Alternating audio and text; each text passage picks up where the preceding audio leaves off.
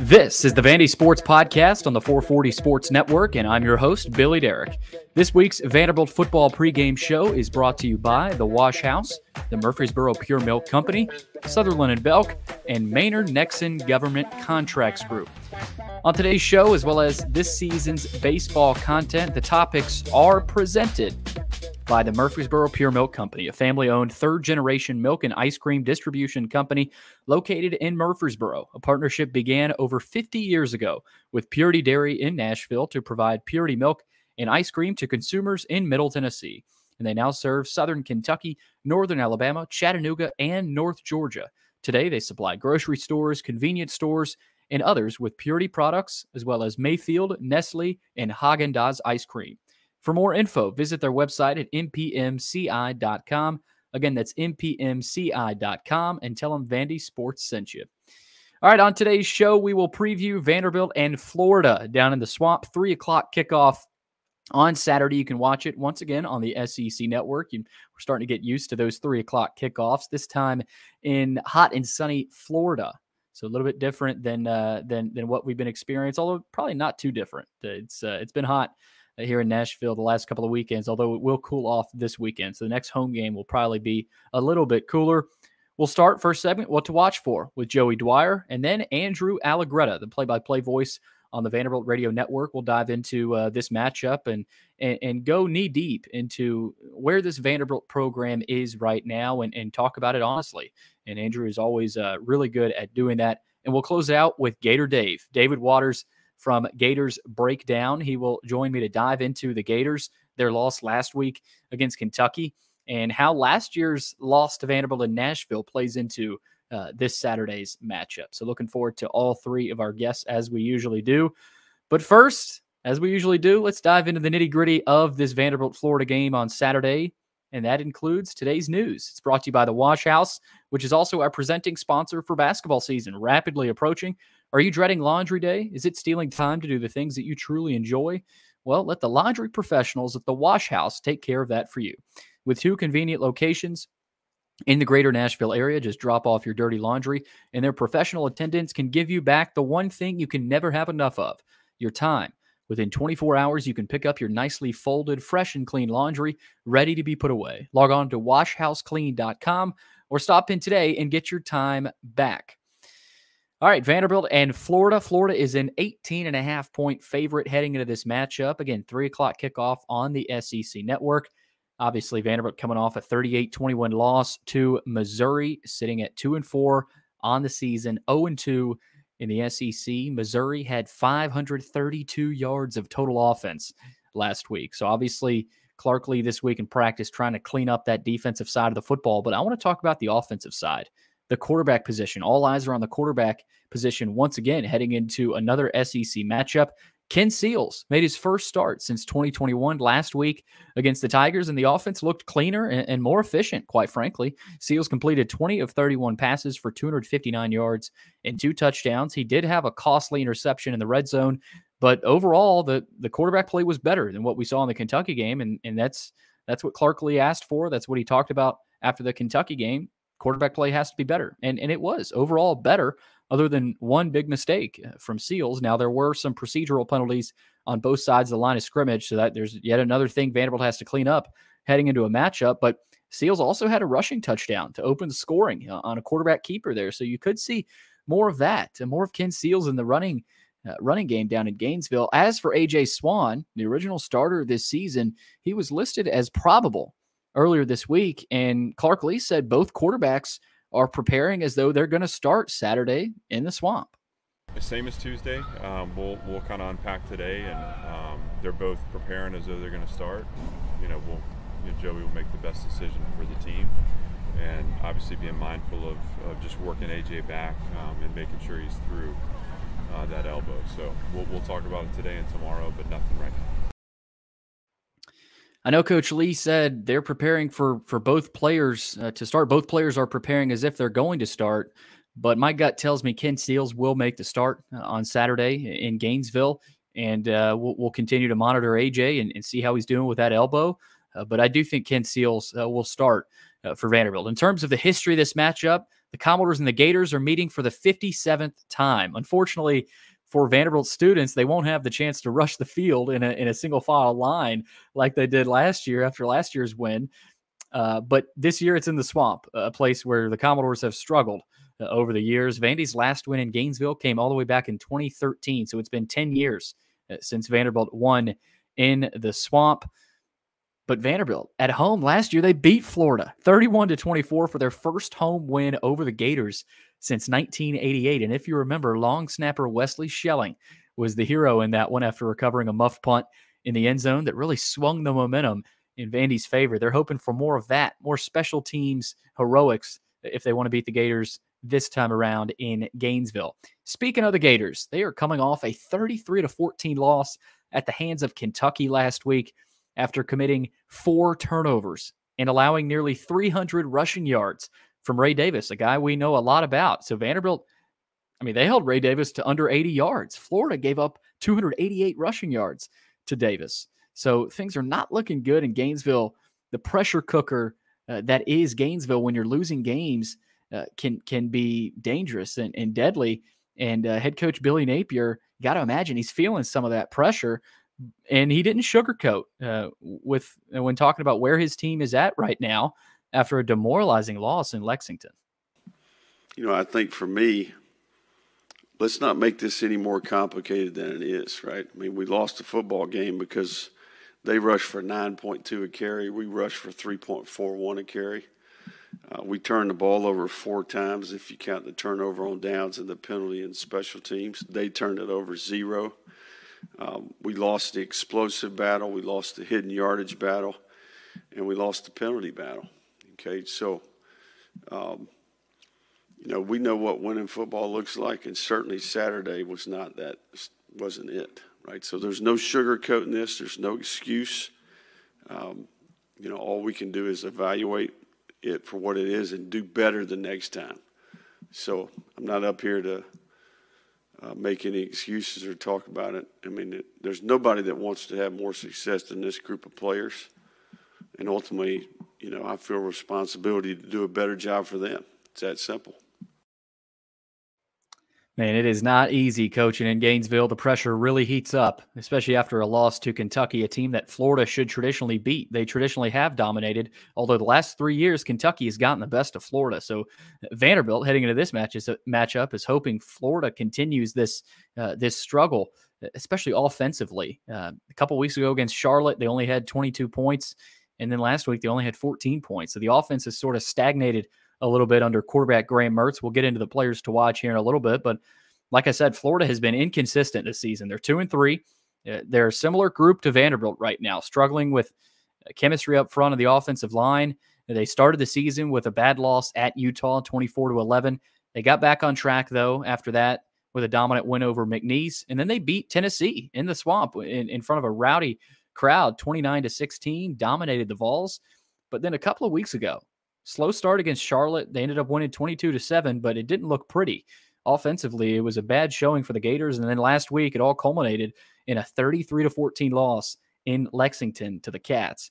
Overall, this Florida team averaging 25 points per game, uh, 393 total yards per game, 252 passing yards per game, and 141 rushing yards per game. So, not as dynamic of an offense as Missouri last week and even Kentucky. I mean, Kentucky and Missouri, I think, have have better offenses uh, than Florida does. Uh, Florida at receiver. I mean, R- Ricky Pearsall is really the only receiver I think Vanderbilt uh, would be scared of and is keeping an eye on. Uh, but the quarterback, Graham Mertz, as we get into our players to watch so far this season, 1,220 yards through the air, six touchdowns, and only two interceptions. So he, he's played clean football. And they're getting out of the they're they're getting the ball out of his hands quick. A lot of short, efficient passes and because of that, he's completing nearly 80% of his passes. So uh, he's taking care of the football. And uh, they've, it's, I don't want to say, you know, a, a, a, boring Gerber's baby food offense, but they really haven't been super explosive and dynamic. Uh, he also has 31 carries and two rushing touchdowns. So uh, we'll be interested to see uh, what Mertz is able to do through the air, but also on his legs, with his legs, uh, because you saw Devin Leary on, on, the ground able to affect Vanderbilt's defense. Running backs, Florida has a couple of uh, really good running backs. Trevor Etienne, so far this year, 378 yards, two touchdowns, six yards per carry. He is listed as questionable, though, heading into this matchup. So that is something to watch. Florida has a couple of injuries on the offensive line. Their best running back is questionable heading into this matchup. That will, if Etienne can't go, that'll affect the game a little bit. But they also like their second running back, Montrell Johnson. He's got 261 yards, three touchdowns on the season. So, and they've got a lot of good running backs behind Etienne as well. So I think Florida's fine, but it'll be interesting to see uh, how uh, how Florida's run game is affected with with a few injuries up front, and then Trevor Etienne being questionable. I mentioned Ricky Pearsall. He's really the only guy to watch at receiver. 419 yards, uh, two touchdowns this season. It doesn't really jump out to you. So I think if Vanderbilt can can limit uh, Florida through the air, I think they've got a shot in this one. And uh, you know, I think that points to Vanderbilt having success. Uh, because they're not facing Luther Burden and Theo Wease in a dynamic passing offense uh, like they did last week versus Missouri. Defensively for the Gators, they're led by linebacker Shamar Jones. He leads the team with 35 tackles, and they've got an impressive edge rusher, Princely Umanmielen. He leads the team. He leads the team with two sacks, six quarterback hurries. That's a lot, and four tackles for loss. So Umanmielen is a guy to watch uh, for Florida coming off the edge. Vanderbilt's got to protect uh, their quarterback, who I think is going to be Ken Seals. Weather should be a beautiful day. High of 88 down there in Gainesville. And with this being a three o'clock kickoff, this will, of course, uh, you know, get into the nighttime. It'll be partly cloudy at night, and it'll, it'll, it'll get all the way down to 53 degrees. So it should cool off uh, to be a nice night in Gainesville. Injury report for the Commodores. Uh, last I checked on Tuesday, AJ Swann was listed as probable. Uh, Clark Lea said that they're taking the quarterback position day by day, and that they're first paying attention to AJ Swann's health. So you know, I, I, would I would venture to guess they've made their decision. I think that decision is Ken Seals, uh, and and we'll see if if if Swann goes at all. Walter Taylor, let's see if he gets any more carries. He only had one carry last week against Missouri, so we'll we'll see if Walter Taylor uh, is involved at all, especially in red zone packages. Uh, Jalen Mahoney is questionable. Grayson Morgan is questionable. Uh, B.J. Anderson is questionable. London Humphreys is also questionable. Clark Lea said earlier this week Humphreys is available. He's just not 100%. So if Vanderbilt could get Humphreys back in this Florida game, even though he's not 100%, I think that obviously he's a he's a heck of a player. So that would help Vanderbilt's chances. And unfortunately, Kane Patterson is out. Clark said that the team got good news on him, though, and it's not likely to be season ending. Uh, he'll be out a few weeks, and he could come back at right out of the right out of the bye week. So uh, obviously, you've got guys like Brian Longwell, Bryce Cowan, and Nick Rinaldi having to step up. Langston Patterson, his younger brother, as well. So it'll be interesting to see uh, Vanderbilt's linebackers and, and how they're able to defend Florida's stout run game. So that does it uh, for the first part of this first segment. Let's get into the mailbag now. It's sponsored by Sutherland and Belk, a family owned injury law firm, longest running sponsor of VandySports.com. So we love the folks over at Sutherland and Belk. If you or a loved one has been hurt or in an accident, give them a call. Taylor or Russell, best folks in the business, 615 846 6200 to see what your rights are and if they can help. All right. We start with Ann Arbor Door. Looking at PFF grades, Pro Football Focus, how does run and pass blocking by the tight end and running back compare to last year? Well, uh, I, I, had a chance to look at those numbers. I saw your your question uh, earlier uh, yesterday, and they're similar, uh, but they're not as good as they were last year, right? I think just looking with your eyes, tight end blocking specifically has not been nearly as good as it was last year. Uh, number one, you lost Schoenwald and Bresnahan, who were phenomenal blockers. Uh, they protected the quarterback. They also helped in the running game, and they would pop out and catch some passes here or there as well. And Ben Bresnahan played a role in, in the win over Florida last year. So Vanderbilt has missed those two veteran guys physical. Uh, the, the, the physicality is the biggest thing that that I think is missing uh, from this Vanderbilt offense. And they also suffered an injury to Cole Spence, uh, the uh, the the freshman coming into this season or sophomore, I guess now. So, you know, they've had some injuries. They lost a couple of veterans from last year, so the tight end blocking has not been nearly as good, and the running back blocking I don't think has been good. I think Patrick Smith has been good in pass blocking, uh, but you know when you throw Cedric Alexander in there and even Gillespie, I think they've struggled a little bit. Patrick Smith has been solid, but you know, it's it's easy to see Vanderbilt does not have as much physicality as they did last year, especially late in the season when they were able to beat Florida and Kentucky. So that that simply has to improve. But it, it's it's understandable. I mean, you lost Schoenwald and Bresnahan. To me, that that those are the biggest reasons why Uh, they have not been as good in, in the run and pass blocking at the tight end position. Uh, Ann Arbor also asks, with the turnover and injuries there, does that explain part of the problem with subpar O line performance? Yes, I, I, just said. You know, I, I, think, I think without Schoenwald and Bresnahan, they really helped out and aided uh, that offensive line. You know, a lot of times you saw uh, 12 personnel, two tight ends, both of them in there at the same time, and you know they'd be on either side helping Mike Wright, you know, stay in the pocket. AJ Swann at times last year as well. So yeah, I, just think Schoenwald and Bresnahan not being there has hurt this team a lot. So Justin Ball, I think, has gotten better. Camp Johnson as a freshman. Logan Kyle is he's not a super physical tight end, so they, they've got to improve there if if they want to pick off a couple of SEC wins here down the stretch. All right, next up, baseball bros. Will Vandy cover the spread this game or any games the rest of the season? Well, it's a good question because they haven't. They haven't covered a spread all season, which surprised me. Um, and, I mean, coming into this year, if you would have told me that before the season, I would have thought you were crazy. I mean, I, I just, I, there's a lot of things I would have said. I would have thought you were crazy if you told me before the season uh, that Ken Seals would be the starter at this point. Although I did say Ken Seals will play this year before the season. So now that time has come. This Florida game, though, I think Vandy covers the spread. I, I honestly do. And I think I've, I've picked them to cover the spread the last couple of games, and it hasn't worked out. So this might be a stupid decision here. But 18 and a half is a lot of points against a Florida team that looked awful last week against Kentucky. Uh, they've only put up 14 points, um, I guess an average of 17 total the last couple of weeks. That Charlotte game was ugly too. So I just don't think Florida, I think Florida's very different than the last couple of teams they faced, Kentucky and Missouri. They're not as explosive offensively.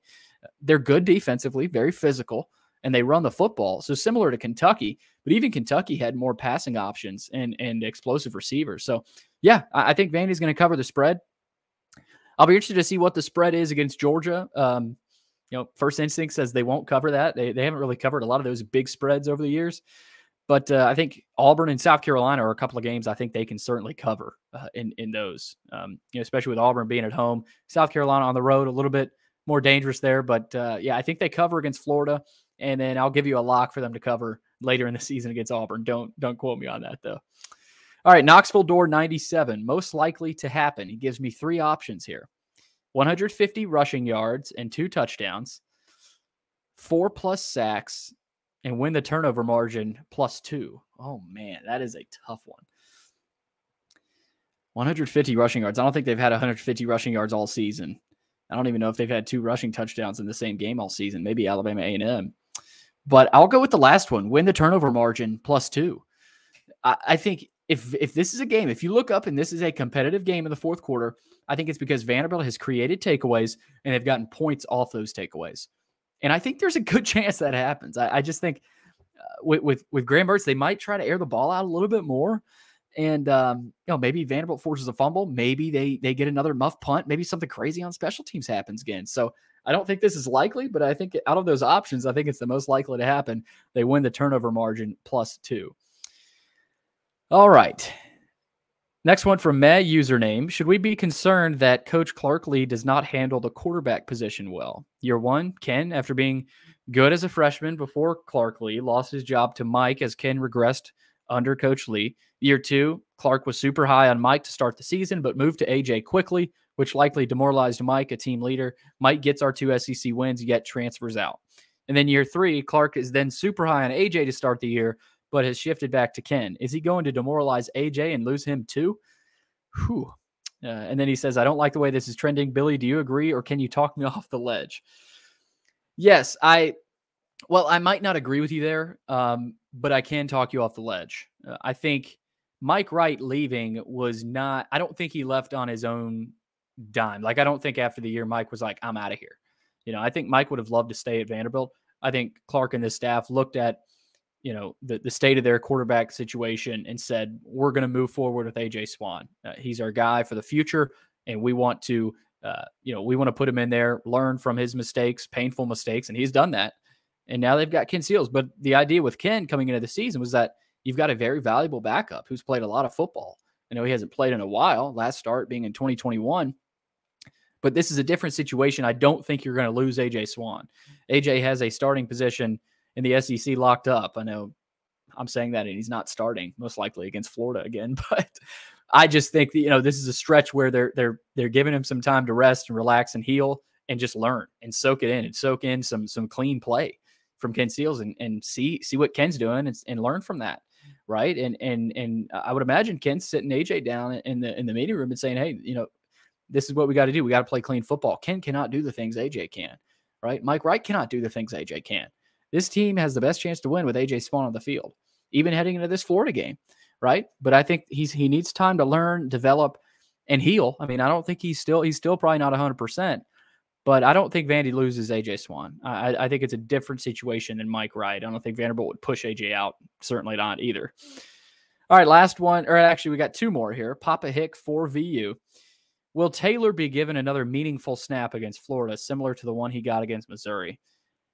You know, that's a good question. I, I thought he would have more snaps last week uh, against Missouri. You know, heading into the Missouri game, Clark talked about it. it Eli Drinkwitz talked about it. He said they're prepared to see Walter Taylor in some packages. And Clark Lea hinted at potentially having Walter Taylor in there.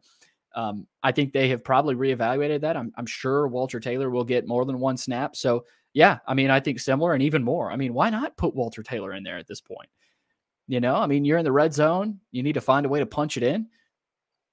You know, load the box and and snap the ball to Walter Taylor. Tell him to run it in the end zone. I mean, he's six six, you know, 220 pounds. I mean, he's a big kid. So yeah, I think Walter deserves a, at least one meaningful snap, if not three, four, five. I mean, give Walter some time. Let let him go out there and uh, and and and do what he can do, and which is I think running the football dangerously. So eh, that'll be interesting to watch. See if we see Walter Taylor against Florida. All right, last one here from Trailbait. Why should we have hope? What's the positive spin on our future? I'm looking, I'm looking at the remaining schedule this year, next year's schedule, and feel nothing but despair. Talk me off the ledge. You sound like Chris Lee. No, I'm, I'm kidding. But no, I mean, Chris mentioned it a couple of podcasts ago in our weekly podcast with Luke. He said last year's schedule's brutal. And I agree. I mean, you got Alabama, Texas, just some brutal home games, Georgia, of course. So it's hard to have, it's hard to see the hope right now. Um, but it looks like Vanderbilt is, is, is maintaining the majority of their recruits. And it looks like they will. Dante Carter, he's been speaking glowingly of Vanderbilt sounds like they're going to get Whit Edwards as well. So I think that's a big part of this. Clark Lea has maintained a lot of these commitments. You know, you really haven't seen any decommits. Really, only one. I think it was. I want to say it was Dorian Williams, receiver. Um, why should you have hope? I, I just think because of what you saw last year. You know, where was the hope after that South Carolina game last year? It was nowhere. You saw the controversy with Dan Jackson. Vanderbilt came out, they beat Kentucky and then beat Florida. You know, I still think that can happen this year. I really do. Um, now, it may not seem as likely, and I think it's going to be more difficult.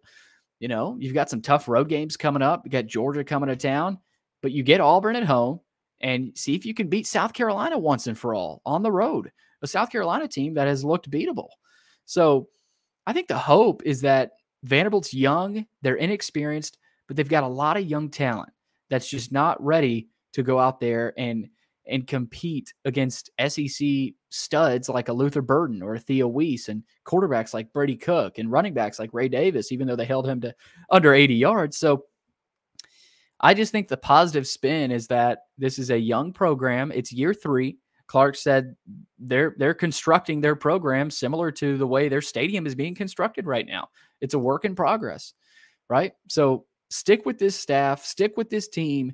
They'll get it going in the right direction. It might just take a little bit longer than a lot of fans wanted, right? I know five and seven season last year. Natural progress is all right. Let's get to six now. Let's get to a bowl game. But you know, it, it's not always that easy. It's just not, especially in the SEC right? The UNLV loss did a lot of damage to this program. I think the hope is that they learn from that, right? Go fight your tails off against Florida. We'll see what happens, right? So I don't know if that talked you off the ledge there, but gave it my best shot. I think recruiting and the young talent that's in this program is, you know, gives Vanderbilt fans signs of hope. All right. That was the first segment. Let's move on to our interviews. We've got Joey Dwyer. What to watch for with Joey Dwyer? Tradition unlike any other. Joey will be in the swamp. So we'll do last minute thoughts with Joey from the swamp. I will not. I'll be doing it here. We'll also do a post game show uh, live right after the game between Florida and Vanderbilt. We'll bring Joey in live from the swamp, so that'll be fun. He'll join me here in a second. Also, Andrew Allegretta, and then David Waters, the creator and host of the Florida Gators podcast, Gators Breakdown. We'll talk about Florida's season so far, the kind of the pressure on Billy Napier, talk about what he's seen from Graham Mertz so far, and Trevor Etienne's status. Will, will he be able to go against Vanderbilt? And also last year's loss to Vanderbilt in Nashville. How will that play into this matchup? And uh, is there a revenge factor for the Gators? But first, we kick it all off with what to watch for with Joey Dwyer. As always, we're kicking off the Vandy Sports pregame show with Joey Dwyer. Five things to watch for with uh, with Joey Dwyer. He puts that out every week, and uh, you can see his latest piece, Five Things to Watch for uh, heading into this matchup on the site, vandysports.com. Of course, he's also got another piece detailing Vanderbilt's turnover uh, issues and, and kind of breaking down how costly have they really been. So, a couple of stories out this week here from Joey. Joey, let's start with Vanderbilt's defense. And, uh, you know, obviously it's it's hard to uh, to switch these up every week. I think we've gotten to the point where you know they're they're fairly similar every week. You know, you kind of switch them up a little bit, but uh, your first thing can Vanderbilt limit the yards on the ground and after the catch? Uh, its two losses, you say here, Florida ran for 13 and 69 yards, respectively. So it's interesting, Joey, against inferior competition, Florida has struggled against McNeese State and then Charlotte as well. Both of those at home, of course. Um, what uh, what what made you choose that at least defensively um, for your first thing to watch? I think Florida has one of the most talented backs in the league. Although he's questionable, Vanderbilt's going to have a hard time stopping that, obviously. And a lot of Florida's offense is the short passing game and what it can do after the catch. So, kind of feels natural that with some tackling issues that Vanderbilt's had in the past, that would be something to watch for. And I feel like if Vanderbilt can really bottle Florida up after the catch and bottle them up on the ground a little bit, which has shown to be possible, only 13 yards against Utah, I think 69 against be Kentucky. Vanderbilt's got a chance if they can do that. Florida's not going to have all these super explosive plays with the ball being in the air for 40 plus yards. It's going to be a lot of after the catch and a lot of things that it can do on the ground. And of that sort, Vanderbilt has really struggled to give up explosive plays throughout the year. Maybe it's off the hook a little bit against an offense that doesn't seem as explosive, but if it can't tackle, it's really null and void. All right, let's move on to Vanderbilt and, and their mistakes, right? You, your second thing to watch here is how does Vandy respond to mistakes and adversity? You know, last week was a little bit cleaner, Joey, at, at least offensively, but you still saw some procedural penalties um, on on both lines of scrimmage at the offensive line and the defensive line, and that's just it's so disheartening, and they happened at awful times. I mean, just backbreaking procedural penalties uh, where they're jumping off sides uh, and and false starts uh, on the offensive line. So uh, I, I, mean, I, I, I see the word mistakes, and I think of those at least last week uh, against Missouri. Uh, but even offensively, the the turnover in the red zone from Ken Seals, um, I think they responded okay last week to that. But that that is something to watch, and I'm glad you put that in there because you know, let's face it, adversity is in football every week, and how Vanderbilt responds to mistakes that will happen against Florida. They've happened every game for Vanderbilt. Um, you know that that's going to be important in this one. I put that in there particularly because this is a road game and it'll be the toughest environment Vanderbilt plays in to this point and potentially all year. Feels like this is a game where Vanderbilt could really get a wake up call in terms of what the crowd looks like. And in its first two road games, you don't really have much reason to believe that it can handle the storm and it can weather kind of the adversity it'll see when it made a mistake at Wake Forest. Those mistakes just kept building up and kind of put Vanderbilt behind the eight ball. At UNLV, that happened, but to a much, much larger degree. Those environments weren't incredibly hostile for Vanderbilt, but this will be. And I think it's certainly worth watching whether Vanderbilt can bounce back from an interception here or there. I think that tells you a lot about its leadership. It tells you a lot about maybe what it has with Ken Seals at the helm, who we probably expect to start, I would assume. I think Vanderbilt's turnover issues are a little more solvable with Ken Seals at the helm, but you look at that turnover article I wrote, negative 48 points off of turnovers on the year. Vanderbilt has given up 58 and has uh, generated 10. So kind of tells you what you need to know. And if Vanderbilt can't kind of bounce back from what it ha- what happens to it, which inevitably will happen with this roster and really football in general, Vanderbilt's completely screwed on Saturday. And uh, I don't know if there's any other way to put it. If Vanderbilt can't bounce back from adversity and turnovers and mental mistakes, no chance against Florida. Yeah, and it starts at the quarterback position with Ken Seals, and your third thing to watch is uh, does he start? you know, and and what does the play calling look like if so? Uh, I was unimpressed with the play calling late in the first half against Missouri last week, and uh, Missouri was so unimpressed with Vanderbilt's ability to move the ball down the field. They were calling timeouts and they were going to try to get the ball back, and they did get the ball back, but of course uh, they didn't uh, didn't end up scoring. There's just no threat uh, you know, with with this Vanderbilt offense at least right now. Now we know the guys that are talented, and we know the guys that that can be threats, but without a running game, you know, it's just it, there, there's no there's nobody that really scares you offensively, and this offense doesn't scare you right now if if you're a defensive coordinator. Um, so obviously, does Ken Seals start? We'll see. My gut tells me he will. Uh, but we'll see, Joey. And that's obviously, I mean, you could argue that's the biggest thing to watch, right? I mean, because it kind of changes the complexion a little bit. Uh, you know, if, if Swann starts, I think that gives Vanderbilt a chance to legitimately win. Um, but it also, you know, we know what he's done, you know, with mistakes and turning the ball over. With Ken Seals, I just don't know how high that ceiling is. And I think that I'm glad you put that as, as something to watch. Yeah, that choice really changes the com- entire complexion of the offense. AJ Swann's going to be the gunslinger who's going to make mistakes. Ken Seals, maybe not as not quite as gunslinger ish, but threw the ball downfield well when he had the opportunity last week. Whether Vanderbilt gives him that opportunity if he starts again, I think determines a lot of how this offense moves and how this offense plays. The play calling was really vanilla, and it felt like they protected Ken Seals a lot last week. That can't happen at the swamp, and that can't happen if you're trying to legitimately win an SEC game, it felt like that offense was playing not to lose and not to make a mistake. That's where a lot of the turnover, I guess, positives came from that they didn't turn it over. They were just being so vanilla with the play calls. And I think, I mean, that tells you a lot about what they believed about their offense heading into this week.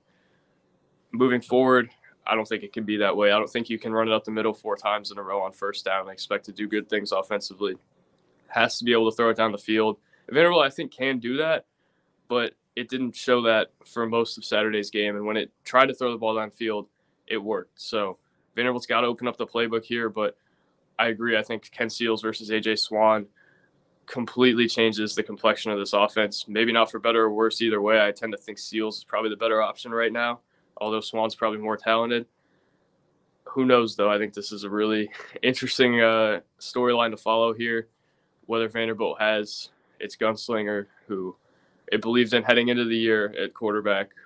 Swann is probable, or Seals, who is going to be with the team pretty much all week in practice. And you kind of know what you have there. I don't know if you know what you have as much in Swan. So be interesting storyline to follow. And uh, I tend to think Ken Seals probably gets the start.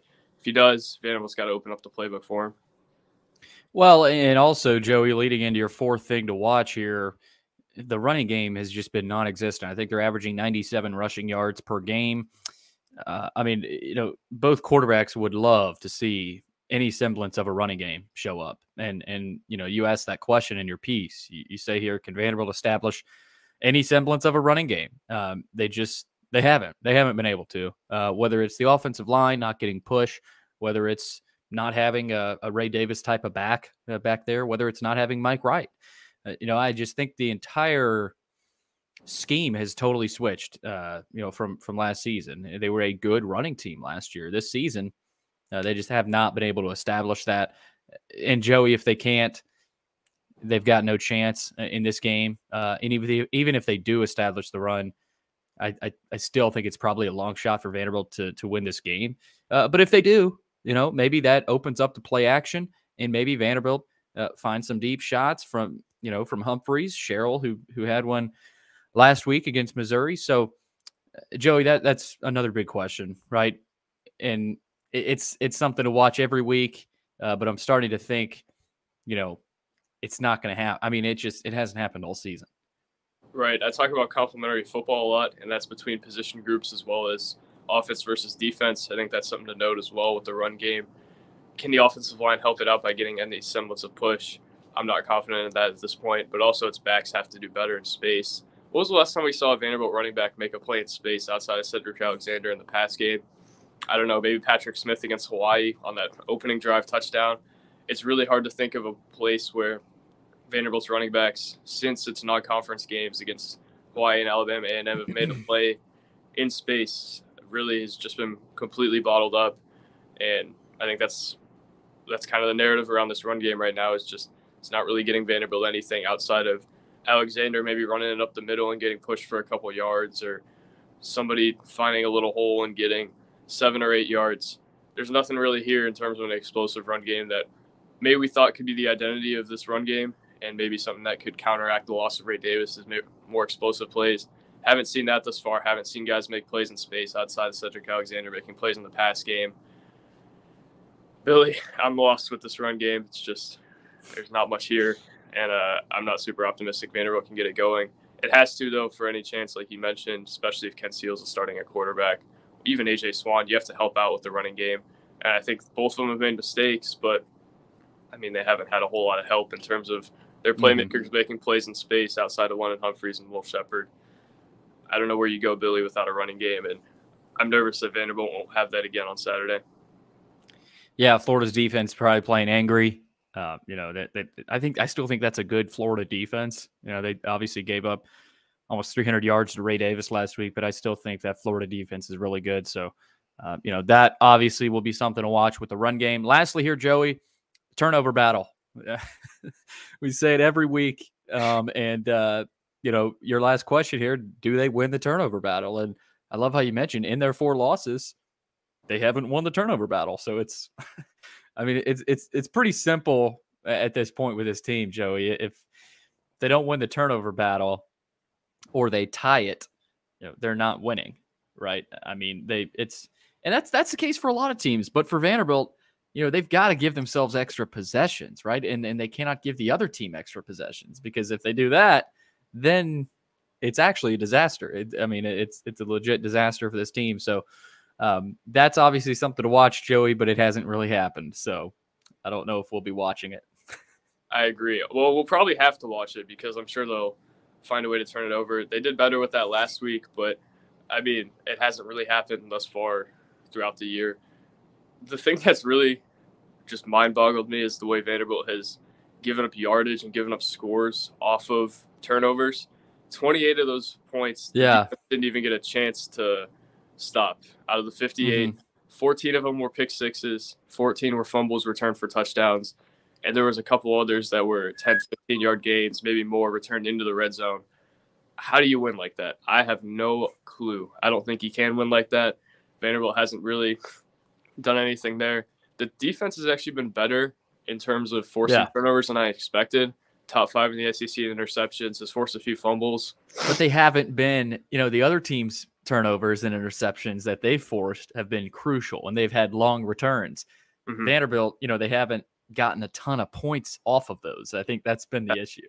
Yeah, seven of those 10 points were a pop up to Martel Hight that he ran back in the UNLV game. That ended up not mattering anyway. Three were against I think Kentucky two weeks ago, and Vanderbilt got outscored 21 to three in the turnover battle in that game. So it just keeps putting its defense in bad spots, and sometimes its defense doesn't even get an opportunity to be, put in a bad spot. It just doesn't get on the field in general, and I think that's really hurt Vanderbilt throughout the year. Florida's a team that's kind of kind of nickel and dime you to death. They're going to have long possessions. Mm-hmm. Vanderbilt cannot afford to lose possessions over and over again on Saturday, and I think Ken Seals could probably control that a little bit better. But also, I wonder how much of that was the vanilla offense because when they did throw it down the field late in the third quarter, he did throw the interception in the end zone. So, mm-hmm. Billy, I'm I don't really have answers here, but what I know for sure is a negative 48 turnover margin throughout the year is going to lead to a record like this, no matter how much talent's on the roster.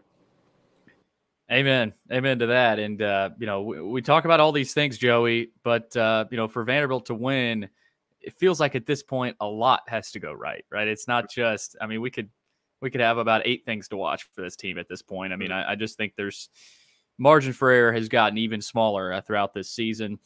Vanderbilt, Florida, Joey, three o'clock Central Time kickoff. You can watch it if you're not there uh, on the SEC network, but Joey Dwyer will be there.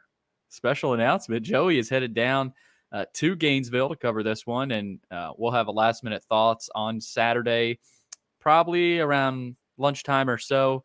Uh, Joey will be in the swamp, and then after the game, he'll report on the postgame show from the swamp, uh, Ben Hill Griffin Stadium. I think it's called uh, uh, Florida Field. Uh, I, I, think very, uh, very original there. But very. Joey, Joey, uh, enjoy the weekend. Looking forward to uh, to seeing you down in the swamp, and thanks for taking the time. Thank you, Billy. Looking forward to it. All right, moving right along. We're now happy to be joined by Andrew Allegretta, the play-by-play voice for Vanderbilt Athletics on the Vanderbilt Radio Network, and here I'm alongside Norman Jordan, Kevin Ingram everybody else who does a great job helping uh, contribute to the, the game day broadcast. You can hear them on 1025 The Game and every now and then 94.9 FM as well. Andrew, thanks for taking the time again. I know it's, uh, I think it's been a, a, few weeks here since we last met. And I, am trying to think of the last game. What game did I have you on for last? I can't remember, but everything runs together now. But let's start a little bit with that Missouri game. Uh, and obviously, you know, it was cleaner offensively. I mean, I think everybody can agree with that. Um, maybe not as explosive, but you know, cleaner, uh, more efficient. Other than that red zone uh, interception, I mean, it was it was pretty uh, pretty clean. And then you saw some procedural mistakes um, on both lines of scrimmage, which I thought affected the the rhythm and kind of some of the some of the momentum of the of the game. Overall, any difference, right? Any and did you see any difference at least overall with this team, specifically offensively, as opposed to maybe the the Kentucky game?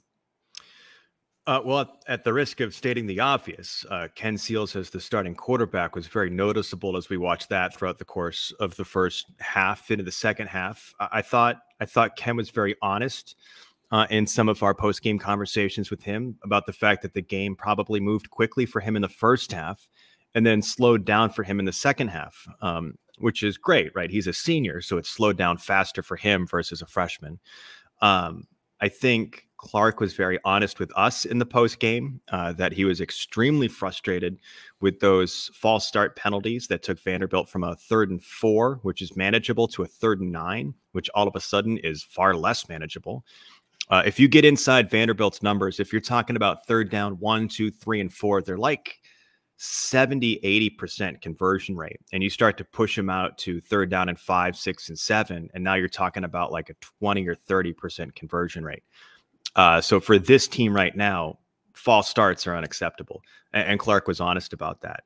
Um, I think the biggest thing I saw with Ken, which really deserves a hat tip, is his ability to find the check down receiver fast. And that included Cedric Alexander for seven catches. I think it was 65 yards. Uh, and Cedric did a wonderful job blocking too. And, and eventually, if you find that check down receiver, if you're if you're good at, at staying out of dangerous situations, then you can stretch the field, which they did late, and it kept them in the ball game. Uh, whether it was the touchdown pass to Sheppard, whether it was the touchdown pass to Junior Sherrill, um, he proved he's got the arm strength to do it. But but I appreciated Ken's ability to get rid of the football and find the the, the check down receiver when he needed to. Let's go uh, specifically offensively. Sheppard, of course, moving up in the ranks, and uh, really, it's going to be interesting to, to track him throughout the rest of the season and, and kind of how high he gets. Does he reach, uh, you know, the pinnacle? Um, how have you seen that receiver room um, progress because obviously we saw what London Humphreys has done. Uh, I know he's been banged up, and hopefully we'll we'll be able to see him back. Junior Sherrill, uh, of course, had a touchdown uh, against Missouri. Uh, but because of the lack of production in the run game, Andrew, I feel like we're not really getting an opportunity to see truly uh, what this receiver room can do. Um, but in the moments they've they've had and the opportunities they've had, they've shown up, right? I mean, I think you're you're you see those little flashes in games where you go, whoa, you know, this this receiver room is is very talented. Um, so how how do you think they can manage it? Because you know, offensively, with the lack of a run game, you almost feel like, man, you're, you're sort of limiting that that receiver room. Um, how can uh, offensively how can they sort of negate that and maybe even a maybe even create short passes as you know an extension of the run game? Well, first off, what Cedric Alexander did versus Missouri is a very, very good start to that. Uh, I'll take mm-hmm. your question and I'll and I'll move it slightly to a different column. Um, I asked Joey Lynch in our pregame conversation uh, earlier this week, which will be part of the broadcast, about the tempo to the offense. Right, like you see moments in time in which the tempo seems to be really, really effective. Whether it's tempo or no huddle, take your pick on. It's kind of one A, one B, right? Like they're they're the same thing, but they're not exactly the same. And, and Joey made a really good point. Um, and I and I even and I even ran this by Norman Jordan. And if Norman mm. Jordan co-signs on a good point, then we're we're in good shape. um, it's a fine line for them. I think they like the tempo. I think they like the no huddle. I think all of us can sit back and say uh, the the no huddle and the tempo seems to be when the offense has the most rhythm um, and, and pace to it, and it's been fun to watch when they're doing that. The problem is if you're Vanderbilt, and I think Clark's prescription writ mm. large, like 30,000 foot for victories, is still going to be ball control. Uh, whether that's getting off the field on third downs, whether that's extending drives with successful third downs offensively.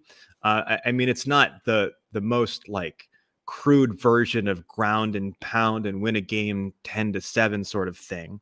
I don't think that's where he is. It's just we we've got to still limit the number of possessions and plays that the opponent has. I think that's the overall prescription for victories. The point being is if you if you push the offense into no huddle and tempo all of the time, now you're adding plays and adding possessions for the opponent. So it's it's mm-hmm. a difficult uh, equation to come together. Um, I, I, I would continue to like to see the running back out of the backfield, whether that's Cedric Alexander or others. Um, continue to find opportunities for the tight end to make some plays. Uh, unfortunately, Justin Ball did drop a couple of catches, at least one, I think, versus Missouri. So that kind of makes you a bit queasy. Um, but but you've got enough depth in that wide receiver room that you can come up with some different creative ways. And you can't just you can't just go away from running the football altogether. They've they've got to find something that keeps that in the mix. Um, I, I, don't think anybody's expecting Vanderbilt to to vault to first in the SEC in rushing offense at this moment in time, and that that's okay. But they do have to find something that keeps mm-hmm. the defense somewhat stable. So you're you can't just say, "eh, forget it. We're going to throw the football sixty times. We're going to run it ten times, or whatever." Uh, you've got to find some prescription to that, and, and maybe that's this week against a Florida team that's that's licking its chops after I think Pro Football Focus College had them down for 19 missed tackles versus Kentucky, which is an, an astronomical number. So perhaps they can gain some confidence this week. Yeah, 58 uh, missed tackles total, I think, throughout uh, yeah. this season. So their, yeah, their run defense typically has been good. So they're they're fighting. They are Florida. The fact that that Kentucky was an anomaly. Now we'll we'll see what happens on Saturday. But the missed tackles right. versus the, the Cats was huge. No doubt, Andrew. Uh, let's go in deep into the weeds here. I, I, I want to kind of get into your brain a little bit. At, sure. at two and four, dangerous. at uh, at two and four right now, uh, zero oh and two in the SEC. Right, I think this program, everyone in this program would tell you they they're not where they want to be. Right, um, you know that they know they're capable of more. Clark has said there's more out there for this team. What have you learned most about where this program is at right now? Uh, you know, because after after Hawaii and Alabama A and M, you know, you were. I feel like most people, you know, we're still in a wait and see approach. You know, we'll, we'll wait till we get into SEC play. You've also got UNLV coming up, uh, which will be a challenge. Wake Forest. So, but at this point, two and four, uh, year three under under Coach Lea in this regime, what have you learned most about just where the program is at as a whole? Okay, so I'll start with this, and I, I have said this throughout the course of the season, and I still believe it. And I will tag it with a couple of points. I still believe 100% that the elevation of talent on the field is obvious. That's the wide receiver room between Junior Sherrill and London Humphreys. Uh, that's the running back room with what we have seen um, with someone like Cedric Alexander. Defensively, you can look up and down the roster and see pieces that are going to blossom. I mean, Langston Patterson is a heavy hitter. I mean, mm-hmm. he's going to decleat some people, and he's fun to watch.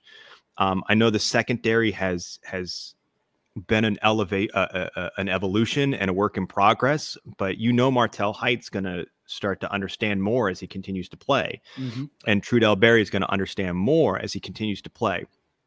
I would I would say this cautiously, but I I do think perhaps going into the season, and, and I speak for myself, not others.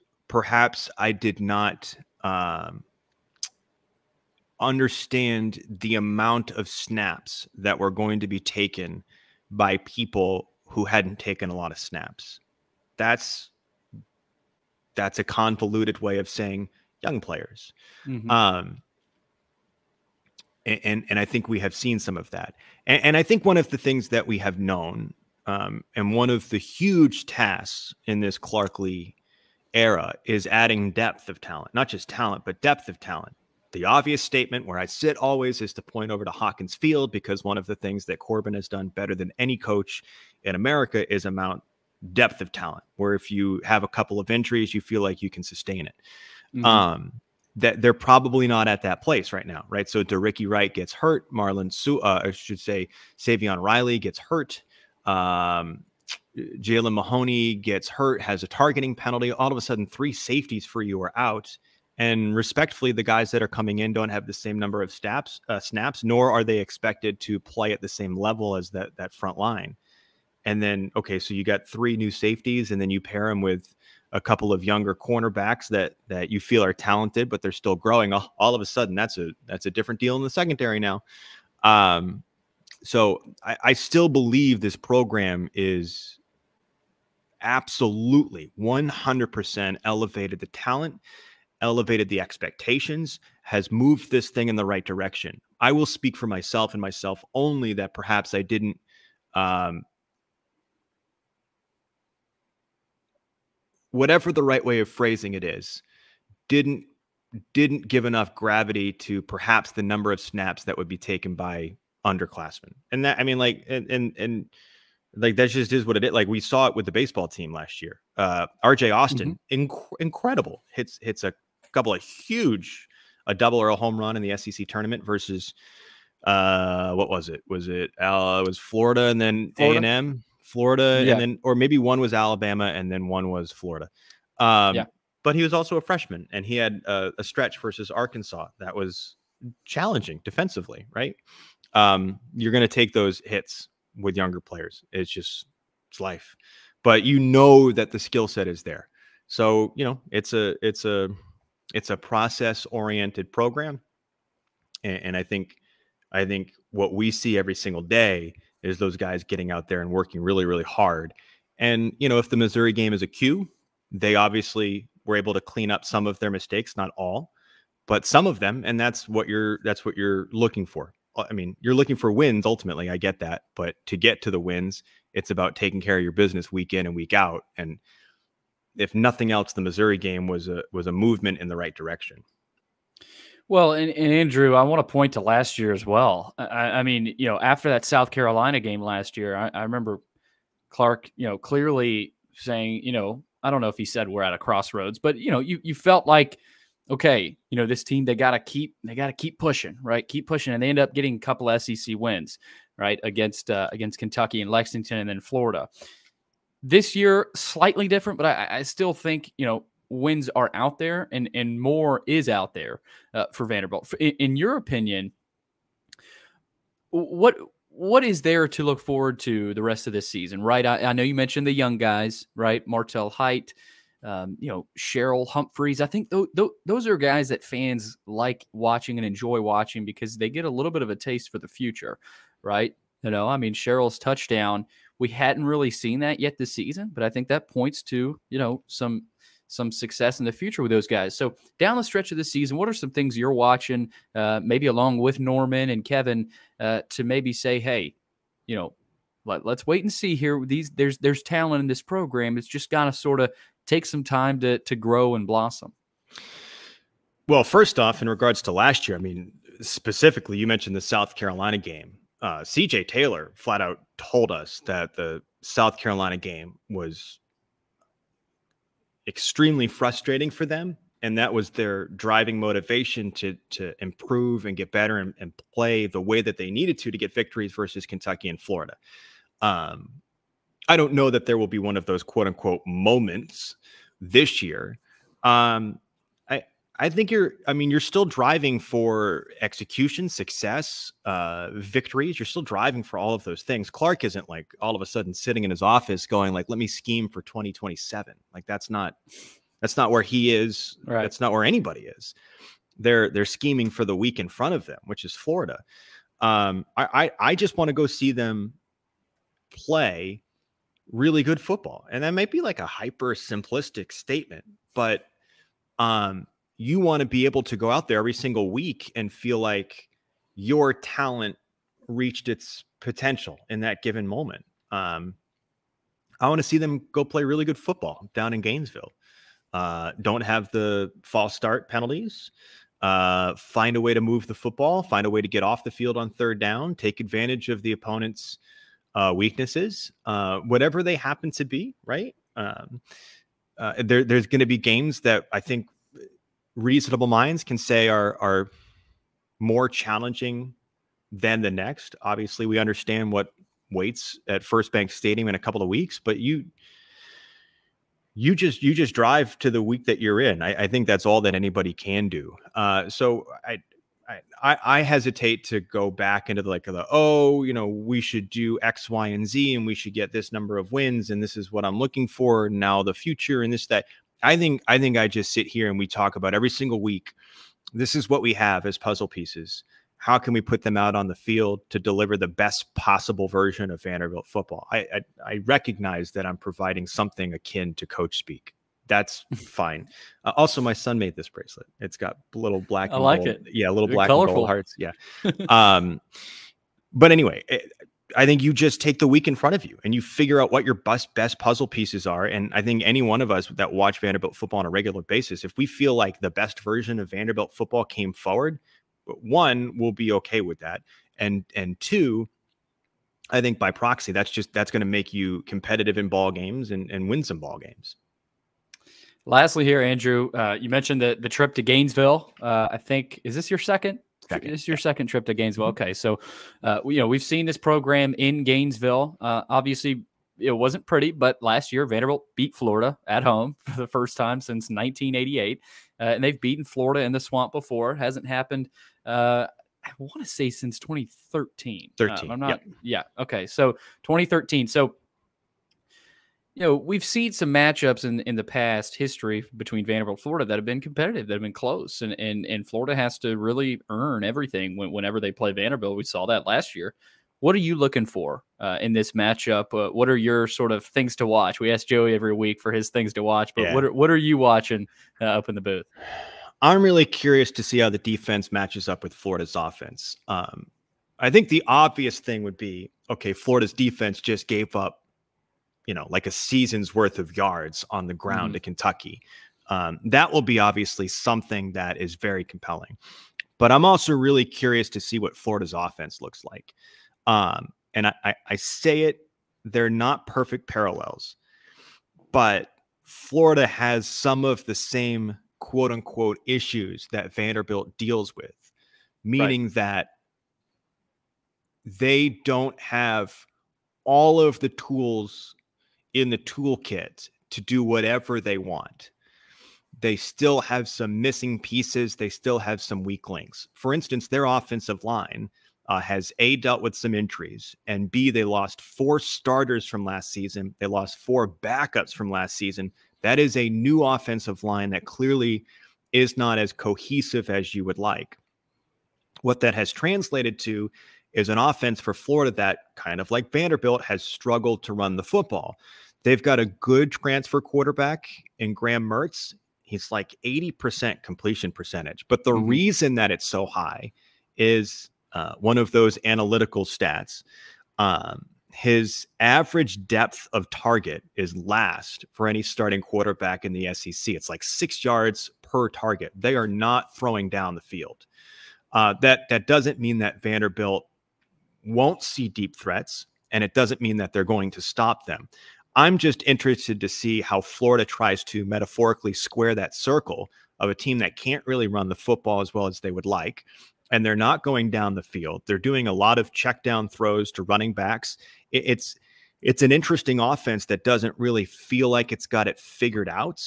And I'll be curious to see how Vanderbilt defends them and if they can throw them off schedule, right? Like if Florida can't really, if if, if Vanderbilt can defend the run and they're keeping the ball in front of them on the checkdowns, all of a sudden it's third down and seven, third down and six, and you've got a chance to get off the field. I want to see if that can come together for Vanderbilt. We'll see. Three o'clock kickoff down in Gainesville. Vanderbilt and Florida, both teams probably playing angry, trying to get back on track, trying to play desperate. And we'll see what happens. Andrew, uh, enjoy the trip and uh, looking forward to hearing from you. Thanks, Billy. And to close out our Vandy, Vandy Sports pregame show, David Waters, creator and host of the Florida Gators podcast, Gators Breakdown. He's known as Gators Dave or Gator Dave. I've been having him on for a while. Uh, David, let's uh, let's hop right in, man. There's a lot to get to uh, heading into this matchup. We, we were just talking off air, two teams that are unhappy. Maybe Florida yeah. is uh, a little bit more unhappy. So uh, we'll see how that plays into this matchup. But let, us dive into the Gators for a little bit here uh, for for for the Vandy fans that may not know as much as they need to know about Florida so far of course, they, they looked really good when, when Tennessee came to town. I think some Vandy people were happy to to, uh, to watch that beatdown.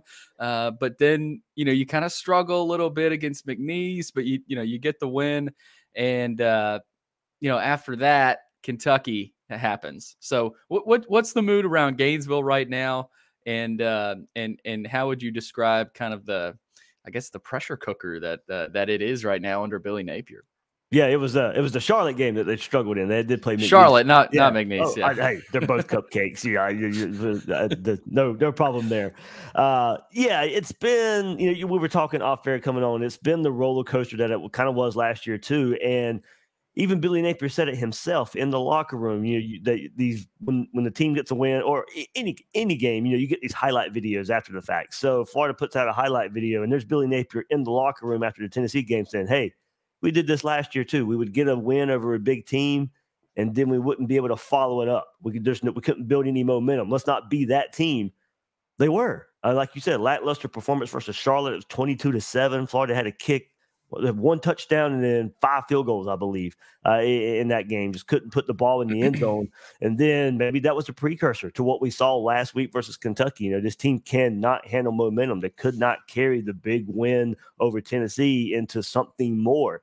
And that's what Gator Nation, the fan base, wanted to see this year. They wanted to see better football, clean football. And then if you if you get that big win, which they did versus Tennessee, turn that into something more. And Florida just hasn't been able to do that. And uh, a lot of it, too, and even going back to last year's Vanderbilt game, Florida just for whatever reason stinks on the road uh, under Billy Napier. I mean, I, will put it just like it is. Uh, only one road win since Billy Napier's been hired. That was mm-hmm. last year at Texas A&M. He's one and seven overall, one and five in true road games, uh, and that reared its head last week versus Kentucky. I mean, first of all, I don't want to take anything away from Kentucky. They they put it on Florida. They were ready to play. They were the more physical team on both sides of the line of scrimmage. It showed. They put it on Florida. Florida was not ready to play once again on the road. I don't even know how much of a difference that would have made. Kentucky was just on their game last week uh, when, when they played Florida, but you know it was just a continuation of a lot of mistake, a lot of penalties for Florida, special teams mistakes as well. And it's just the same issues that are mounting up. And something the fan base just wanted to see is just go play better football this year in year two under Billy Napier. Haven't necessarily seen that yet. Dave, let's hop into Graham Mertz here. It's interesting looking at his stat line last week. Uh, he played pretty well uh, 25 of 30, 244 yards, and a couple of touchdowns. And I, I noticed at the end there, felt like Florida – was able to get a little bit of rhythm and some momentum. I saw Ricky Pearsall had a big catch there late against Kentucky. What have you seen? How would you describe Mertz's season so far? Because there was a lot of, I don't know about hype is the right word, but there was just a lot of controversy. He was a very polarizing figure yeah. coming into the season, right? Some people had high hopes for him. A lot of people said he's awful, right? I mean, there, it was there was really no in between. So, how would you describe his uh, his season so far under center? Uh, safe and conservative. Uh, you do look at, I mean, he's got near for the season, near 80% completion percentage, but it's not a lot down the field. It's a lot of check downs. It's relying on Ricky Pearsall a lot. He's by far and away the leading receiver for the Gators. in a better built offense, Ricky Pearsall's not a number one receiver. He's a he would be a really good number two, a really good number three in a team that would should have a pure big number one.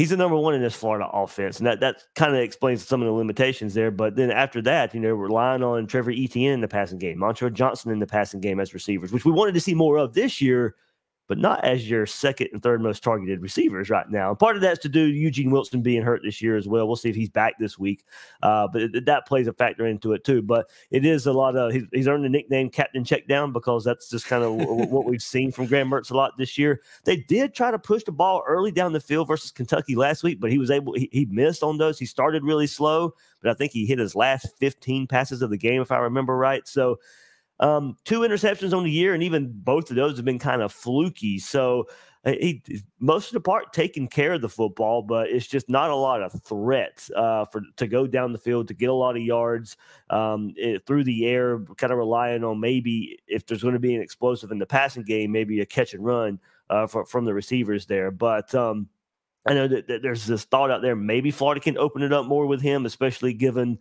the lack of running game, which is kind of surprising for Florida this year. That's and that's been the thing. When Graham Mertz signed at Florida, the things I asked myself was, all right, this Florida run game is probably not going to be as good as it was last year. You don't lose O'Cyrus Torrence on the offensive line and be better the next year. You just mm-hmm. don't. I don't care if you got Trevor Etienne and Montrell Johnson. That's how special he was. I knew the offensive line was going to take a step back. I didn't think it was going to be this much of a step back. So I don't think Graham Mertz so far unless Billy Napier is going to change some things in the offense to open it up a little bit more, that he's enough in this offense to make up for a lack of a running game. I think that's what hurts him the most. If you pair him with that first half performance we saw against Tennessee and that run game, he's perfectly fine. He can carry this offense, but he can't put the, the game cannot be put on his shoulders to go carry this offense. I don't think so. I know some people think, hey, let's open it up. I think he's got it in him and spread it out with receivers. I got to see that before I'm ready to believe it. Uh, but maybe it's worth a try because this Florida offense with the run game has been inconsistent. So it's just how much are they going to ask him to do from here on out if the run game can't get going? All right, defensively, David, uh, 17 points per game is what Florida's averaging. Uh, opponents are averaging, so it's obviously pretty solid. And I'm, I'm looking here, 275 uh, total offense uh, per game, which in this day and age is pretty good. So Florida's defense, especially going into that Kentucky matchup, was was heralded. I mean, this this yeah. vaunted Florida defense, um, and I, I think they are still good. I mean, Kentucky that I think they caught Kentucky at a bad time. Kentucky's really good. Um, and uh, you saw what they did against the Josh Heupel offense. I know it's not yeah. last year's Josh Heupel offense, but this Florida defense is good. I don't, I don't care what anybody says. Now, maybe they're not as good as advertised heading into Kentucky, but uh, what have you seen from them defensively? And uh, what uh, what scares offenses with, with when they, when they throw on the tape of the the Florida defense? Yeah, they're deeper, faster, stronger up front. That that is where it starts. They hit the transfer portal hard in the offseason and was able to come out with Cam Jackson and Caleb Banks, two guys there that are key cogs in the middle of that defense. Uh, so, but as you said, the Kentucky, yeah, they probably caught that at a wrong time. Kentucky had almost every game this season and even in the offseason to prepare for Florida. Uh, when, when, you want to look at, you know, the schedule of the cupcakes and then they open up conference play with Vanderbilt and then Florida, you know, so they were able to concentrate on a lot mm. of mm-hmm. early, you know, pre- preparation with Vanderbilt and Florida. You know, they didn't have to, those teams that they played before that, sorry, Kentucky was working on things in those games. Yeah. Uh, so they, they, there were some things that they did not put on film in those games that really showed up in the Florida game. They started using more gap scheme uh, in, in, the run game, which they had kind of been more of a zone running team. Mostly scrapped that against Florida. I guess they saw something in preparation that they I thought that would be a success versus Florida, and it was, and it was. But as you said, I don't necessarily want to throw away the first four games of this Florida defense. They have turned it around much better than they have been in years past.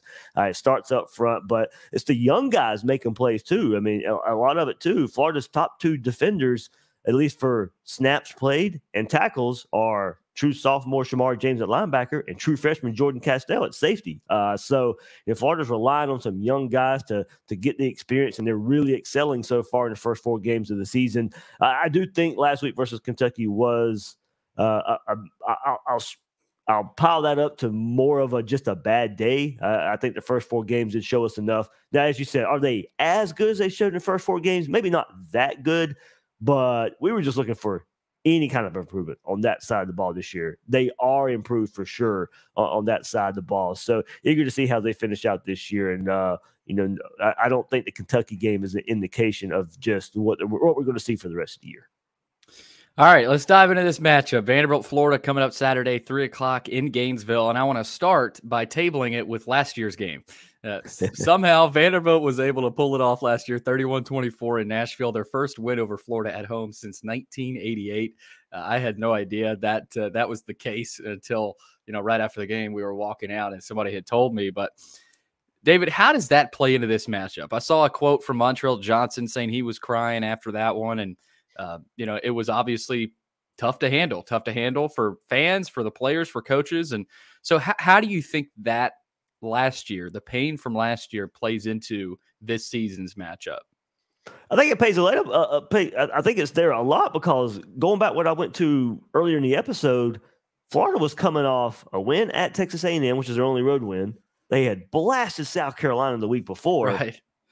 Florida was feeling really good going into that game in Nashville last year, and it just came crashing down uh, there. So it was, uh, you know, one of those things where they just couldn't build on any momentum. Uh, and that really started with Vanderbilt uh, last year in the late in the season. You know, we looked at November last year saying, hey, Florida could really go beat A&M, could beat South Carolina, beat Vanderbilt, and just have this big, humongous showdown at the end of the year with Florida State. Well, we didn't even get to the Florida State game. It was Vanderbilt who put it on Florida, you know, the, the, week before the FSU game. And look, it goes back to something that I've been tracking a little bit for Florida, and that, and what I was bringing on and relating it to this season a little bit too. Florida needs the run game. Florida couldn't run the ball last year on Vanderbilt. Mm-hmm. They had to put the game on the quarterback's arms. They put it last year. That was Anthony Richardson. Look, he threw for 400 yards, and Florida still lost the game. Uh, so the stat I've been tracking, the highest number of completions Florida has won under Billy Napier is 28 at Texas A&M. Anytime a Florida quarterback throws over 30 times, it's been a loss. Wow. And that was and that happened last year in Nashville. Uh, so it's we've been tracking that. Utah this year, over 30 attempts, a loss. Kentucky, same way. Uh, so you know it's now that's just something to look for here. But you know, now Vandy comes to the swamp. Florida plays much better at home uh, under Billy Napier than, than they do on the road. But yeah, I mean, I know for Gator fans probably don't want to hear it or make it sound like this, but it is a revenge game in some ways versus Vanderbilt because you know they, they did put it on you, uh, and now you took them for granted. You may have took them for granted last year. Better not be taking it for granted this year. Yeah, Florida heavily favored, and you know I think the swamp plays into that. You know, you, you usually look at uh, the point point totals there, point differential, and say, oh, being at home maybe gives you three or four points. Uh, I think in this case gives Florida a lot just because they're at home, and and yeah. revenge factor plays such a role uh, in in college football, David. So specifically here, uh, right? I, it's a little bit different than last year's matchup. I think Mike Wright and Ray Davis last year played well against Florida. And you saw some things like you saw that tight end touchdown from Ben Bresnahan, who hadn't really done anything for Vanderbilt last year. Um, so looking in in at this one, obviously Vanderbilt coming in with a totally different offense. Uh, so for Florida, they've got a different style to prepare for. So with you specifically in this matchup, what are you looking at? Uh, you know, if if this happens, Florida will end up winning, or if if this happens, Vanderbilt might end up winning. Uh, to me, it's the, it is the Vandy passing game, uh, and those weapons that they have at receiver. You know, I know quarterback could be in question uh, of who's going to play for quarterback for Vanderbilt, unless you have more on that uh, than from what I've seen this this week. I might let it, you know after. okay, uh, so you know we'll, we'll, see where that goes, but um, there's still the weapons at receiver there, and, and, and I, I, think you know in, in looking at this game for Florida it's been up and down. Eh, I think in, in, in coverage down the field as far as you know the quarterbacks versus receivers, and I mean, I it's just for for Florida's defense. It starts with stopping the run, and we saw that versus Kentucky last week. And Ray Davis, thankfully, he's not for Vanderbilt anymore, but Florida saw him last week, so he can't he can't beat us two weeks in a row since he's not in a Kentucky uniform there. But uh, I, I, do think it starts with Florida, even with the weapons at receiver. Just don't let Vanderbilt get in a groove in the run game. I do think that's where Florida can get hurt. Uh, they haven't let anybody do it this year except for Kentucky last week. Utah had some hits here and there to to get some big gains in the run game, and that was some of the, some of the quarterback run game as well uh, to to hurt there. So I, I am looking up to see you know how Florida's defensive backs match up with with, with Vandy's receivers. Uh, even if the Vandy run game can't get going, um, it would be disappointing if Vanderbilt's run game didn't get going, but they were still able to pass on Florida. I think that would be uh, what I would be looking for in, in this matchup. But uh, if Vandy's able to get that run game going, then I really start to worry because then you really have to start concentrating on stopping the run, and you start leaving one on ones with those Vandy receivers. There's some there's there's there's some matchups there. I think they could take advantage of Florida there. All right, Dave. Uh, injury report here. I saw where Trevor Etienne is questionable. Um, again, I, I, told you before, you never know how serious those those questionable tags can be. I think Vandy fans saw that and go, "Whoa!" You know, he's he's one of their backs. Of course, you also have, I think, Montrell Johnson back there still, right? So mm-hmm. Florida's got a stable of backs there. Uh, how concerning is that for Etienne? And maybe who are, I saw there's some other guys that might be uh, questionable or out heading into this matchup. Any uh, any intel there? Yeah, it would be with the the run game just in general. Uh, starting left tackle Austin Barber's listening to this questionable as well. Kingsley Eguakun, the starting center for the Gators, is questionable. He played last week versus Kentucky. Uh, his first game he played this year was the Tennessee game, and that's where we thought, okay, well Kingsley's back, great performance versus Tennessee. We thought that's what we would keep getting, uh, but he's been dealing with a high ankle, uh, so they're trying to save him when when they can. So with that high ankle, he's probably going to be on the injury report all year. I think we will have to wait till Saturday to see if he actually suits up in place for Florida or not. Um, but for Etienne, that was a bit of a surprise. Um, usually, for a player of his stature, we would hear something along the lines of, "Hey, something happened here." Uh, but no, we we didn't. I mean, to, to, see him on the injury report, Billy Napier did not give much insight whatsoever uh, in, in in the issue, or if he was may play on Saturday. It seems like well, we really are going. I mean, I'll ask around and look around for Thursday, Friday as well. But you know, we'll, we'll, see how serious it is. But it may be one of those we'll have to wait till Saturday to actually see uh, if Etienne lines up. But if if Barber can't go and Eguakun can't go and Etienne can't go, that's a huge, huge hit for Florida's run game. Uh, we've seen this offensive line not play at their best when they've had to rely on some of the backups. Uh, so that would be the, the worry and the concern there. A lot of that we saw versus Charlotte. You know, Florida was playing with three backup offensive linemen, and Charlotte won every short yardage defensive battle. Uh, that was worrisome. As I said, it was kind of a precursor, maybe, of this team just not being able to to handle momentum and and, and, be ready to play. That could rear its head Saturday if Barber, Eguakun, and Etienne are not ready to go as well. We'll see. Vanderbilt in Florida, three o'clock uh, down in Gainesville on the SEC network. And David, give people a chance here, real quick, before I close it out to see your work. I know you got a, a full preview of this matchup up, uh, I think, on yep. your YouTube. So, uh, where, where can people find you? Yeah, uh, GatorsBreakdown.com. You can just kind of the hub for everything right there for Gators Breakdown. But yeah, YouTube, your favorite podcast platform out there as well. Uh, your big preview of uh, Florida Vanderbilt up there right now. Love it. Love it. Thanks, David. Appreciate it. Thanks, Billy. That'll do it for another edition of the Vandy Sports pregame show heading into Saturday's matchup. Vanderbilt in Florida, 3 o'clock kickoff at Ben Hill Griffin Stadium in Gainesville. They call it the swamp for a reason. Tough place to play. It's been 10 years since Vanderbilt beat Florida in Gainesville. That was under James Franklin. If you remember, Jerron Seymour had a big day. Can Vanderbilt's running backs do a similar thing? We will see. Stay tuned. It's going to be a fun one in Gainesville. Keep in mind, though, before we end it, this podcast has always been free and we plan for it to stay free. So here's how you can help keep it that way. First, give the podcast a review and a five star rating. That helps us get noticed. If you're listening and haven't subscribed to VandySports.com, please do. It's $99 a year or $9.99 a month and helps us tremendously. Secondly, subscribe to our Vandy Sports YouTube channel. We've got tons of content loaded up every day on uh, on our YouTube channel. That's free as well. Press conferences, last minute thoughts, post game shows, pre game shows, all kinds of content going up on our YouTube channel. So so go subscribe to that and give us a thumbs up on our latest video as well. Finally, if you're interested in sponsoring the show, email Chris Lee at chrislee70 at gmail.com. Again, that's chrislee70 at gmail.com. Thanks for listening. We'll catch you again soon with more episodes of the Vandy Sports Podcast.